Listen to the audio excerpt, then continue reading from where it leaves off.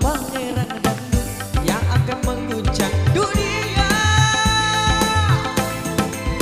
Lewat lagu yang ku nyanyikan lewat musik yang ku main.